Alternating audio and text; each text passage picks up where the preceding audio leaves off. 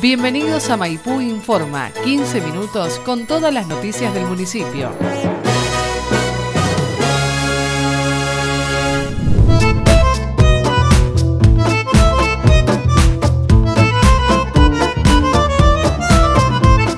Queremos informarles desde la Secretaría de Cultura, Educación y Turismo que a partir del 5 de marzo, junto con el comienzo del ciclo lectivo, hasta el 23 de marzo van a estar abierto, abierta la inscripción a talleres, hay una nómina importantísima de talleres, así que a inscribirse, a averiguar, a ver, a potenciar todo lo que es la educación formal con la educación no formal que oferta el municipio de Maipú. Se han acordado con el intendente un montón de talleres, la apuesta desde que Matías Rapalini está en intendencia se ha aumentado año a año, eh, la, oferta es más grande, hay más diversidad en la oferta de talleres eh, culturales y tradicionales en el municipio de Maipú. Este año inaugurando con la llegada de los talleres el espacio nuevo que es el NIDO, el Núcleo de Innovación y Desarrollo de Oportunidades, donde se brindará una gran cantidad de, de talleres, todo lo que sea danza, música, cocina, articulado con el INTA, eh, lo que sea costura, tejido, telar, eh, y también van a estar todos los talleres de digitalización con el gabinete de computación, así que bueno, la oferta va a ser amplísima en un nuevo espacio, con comodidades y con la tecnología necesaria al alcance de, nuestra gente, porque los talleres pueden ir desde los 5 años hasta la edad que deseen ir, están divididos en esta división por niveles, eh, tenemos arriba de 100 talleres con arriba de 200 horas de clases en, los talleres que tenemos en Maipú, Las Armas y Santo Domingo, en todo lo que es la Escuela de Arte va a quedar todo lo que es la producción artística en pintura, dibujo, cerámica, escultura, mosaicismo, soguería, platería. Y en, el otro nido, lo que ya en el nido lo que indiqué, en el Leopoldo Marechal va a quedar todo lo que es teatro integrado y teatro, eh, y también algo de coro.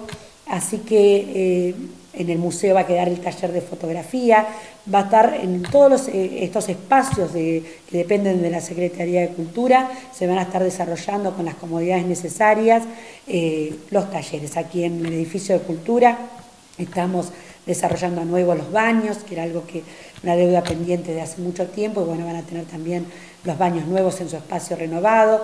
Así que bueno, con todo esperando para tener un año eh, brillante como lo fue el del año pasado, eh, pedir por favor seriedad en, en el que se anota en el taller, si se anota, ir al taller porque si no le está quitando un cupo o un lugar a otro que por ahí lo desea y queda anotado en lista de esperas, también esta responsabilidad que tiene que ser compartida, porque uno pone la logística, apoya con todo, pero también está la responsabilidad del ciudadano en valorar este taller, toda una formación gratuita que es nada más y nada menos que el recurso del mismo ciudadano puesto al servicio del ciudadano y también utilizarlo y aprovecharlo para un desarrollo productivo, eh, que hay muchos que la mayoría de los talleres posibilitan este desarrollo productivo para la localidad y también, bueno, eh, concurrir, eh, tratar de no faltar, tratar de, estar siempre presentes y ser parte de los, talleres municipales. Este es por ahí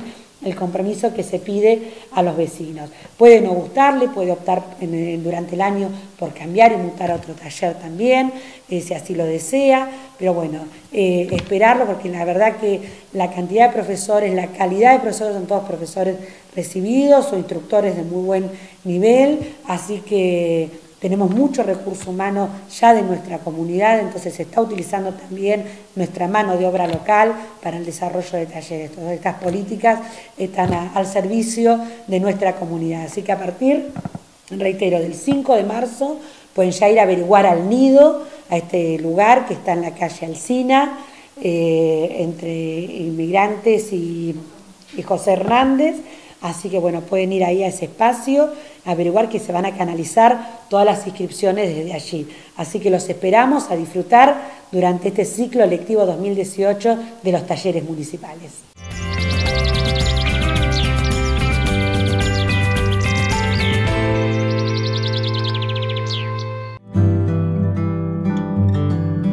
Municipio de Maipú. Maipú, sos vos.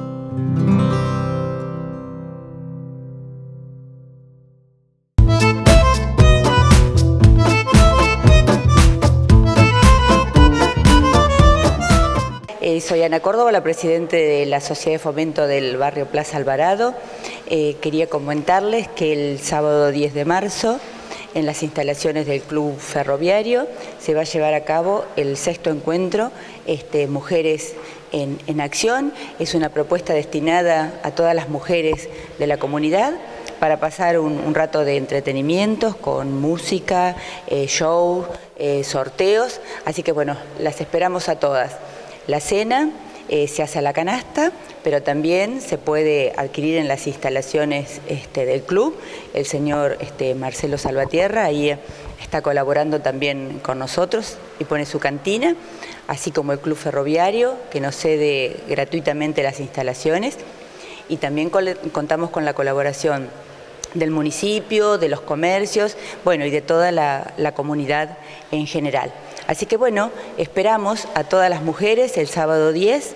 Eh, mujeres en Acción es la propuesta para pasar una noche este, muy entretenida y bueno, es un aporte que hace nuestra, nuestra entidad con motivo de la celebración del Día Internacional de la Mujer. Em, los hombres solamente, mira, los pocos que hay eh, son Marcelo, Marcelo Salvatierra, que está con, la cantina, eh, seguramente algún fotógrafo, este, el DJ, este, no sé, por ahí hay algún cantante, algún bailarín, pero bueno, más que eso no. Bueno, eh, la propuesta surge porque bueno, nosotros eh, mayoritariamente en nuestra sociedad de fomento somos este, mujeres, este, siempre estamos muy, muy activas, siempre estamos en acción, como la mayoría de, las mujeres de, nuestra comunidad y, del país, ¿por qué no?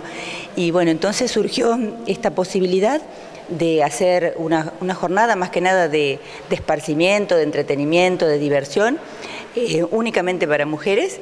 Este, ya sé, como te decía, esta es la sexta edición, así que bueno, las esperamos a todas.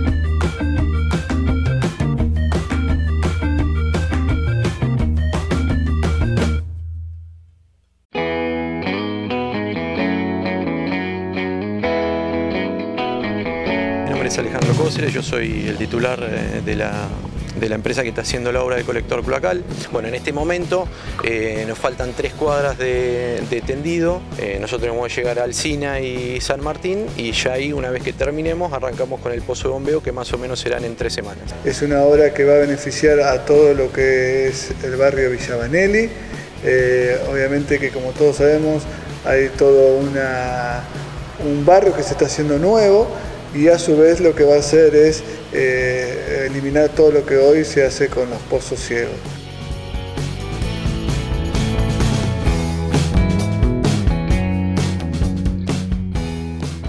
Y la gente lo que más tranquilidad que tiene es que las placas. Y con un pozo que teníamos que cuidar y que cuando llovía... Es cómodo. A mí la verdad que estoy contento y feliz. Y era tan deseado que por fin lo tuvimos. Así que feliz de lo que se viene llevando adelante, eh, sabemos que la obra está muy avanzada y bueno, próximamente aquellas, aquellas viviendas que hasta hoy tengan el pozo seguramente les va a estar pasando la cloaca.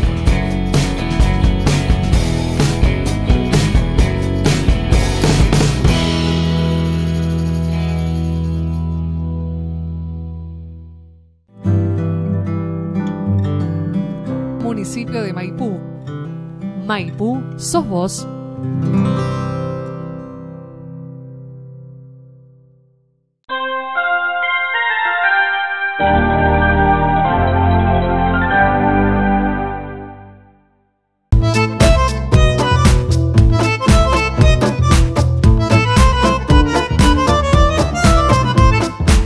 Eh, bueno, eh, yo próximamente cumplo 18 años en, en policía, así que para mí obviamente más allá de la doble responsabilidad que amerita la función como titular de la Comunal Maipú, este, bueno, como ya lo he expresado tanto al intendente como a todo el personal de- del municipio, este, bueno, vamos a poner nuestra mayor responsabilidad.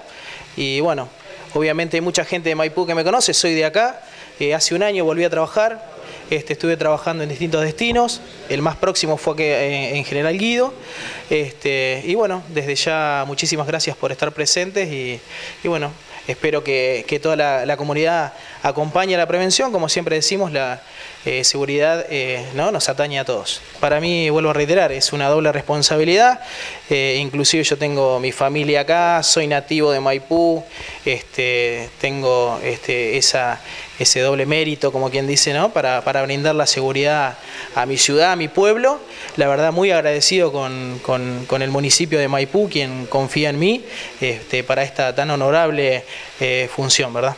Sí, en un primer momento, igualmente es como todo, ¿no? Uno va reflexionando este, y bueno, eh, uno ya sabe que en estas carreras de, de oficiales este, va- llega un momento en que llega la jerarquía, yo eh, ascendí el- a partir del 1 de enero de este año, así que este, eso hizo de que eh, bueno, mi, función eh, pudiera, eh, o sea, mi jerarquía pudiera este, poder cubrir la función de, jefe de la comisaría. Y obviamente yo estoy, o sea, camino la calle acá en Maipú, tengo muchos amigos, este, y bueno, para mí, más allá de, en cierta manera, facilitarme ciertas, ¿cómo es? Conocimientos en cuanto a, a la prevención y todo, porque soy de acá, vuelvo a reiterar, ¿no? Siempre necesitamos de la colaboración de, de toda la ciudad, de todo el pueblo, de, este, porque es necesario este, para que la seguridad de Maipú continúe como está hasta el momento. Como dijo hoy el jefe, hemos tenido algunos hechos este, Aislados. Claro, aislados, pero bueno, este, fue por el cúmulo de gente que, que se aproximó, ¿no? por, los, por los cursos que, que pasaron. Nosotros estamos preparados, hubo este, un refuerzo en cuanto a la seguridad, este, pero bueno, como siempre esto puede suceder. Y sí, por eso también es que vuelvo a hacer hincapié, necesitamos de la colaboración este, de- de toda la comunidad. Esa colaboración que por ahí la gente no entiende de qué manera, pero una persona que no resulte conocida en el barrio, sospechosa entre comillas, llamar acá a la comisaría que ustedes van a ir. Seguramente, no es necesario dar los nombres, a veces nosotros por ahí consultamos, bueno, dónde, o la dirección, o más, o sea, no, no es obligación dar el, dar el nombre, ¿no? Este, pero obviamente llamar al 101, a veces cuando llamamos por el celular o al fijo al 101 va a salir 911, que es Emergencias Mar del Plata, en emergencia sí le piden los datos y tienen que especificar obviamente que son de la localidad de Maipú, provincia de Buenos Aires, ¿no? Este, pero bueno, eh, como dije anteriormente, muy contento, la verdad que para mí, este, yo me siento muy orgulloso, mi familia también, ¿no? Yo soy un hijo de Maipú, Tu padre también eh, pasó por la fuerza. Claro, mi papá fue del servicio penitenciario, trabajó este, en la localidad de Mar del Plata, pero obviamente mi familia mayoritariamente son policías, cumplen función en, otra, en otras localidades, pero somos una familia que estamos muy inmersas en cuanto a seguridad o a la policía de la provincia de Buenos Aires. Este, el comisario Condoleo, Marcelo, está usufructuando licencia porque él, bueno, tuvo un accidente. Eh, yo supongo que en unos días más o un mes más eh, ya se va a hacer cargo. Igualmente nosotros eh, tenemos, trabajamos mancomunados con él, aparte de la licencia eso no, no impide su función. Y bueno, este, tenemos una excelente relación, él está muy comprometido con la seguridad y obviamente este, tenemos todo el apoyo tanto sea del municipio como las distintas entidades de, de acá de Maipú. Bueno, desde ya muchísimas gracias y, bueno, les vuelvo a reiterar mi agradecimiento por estar presentes en este acontecimiento tan importante para mí.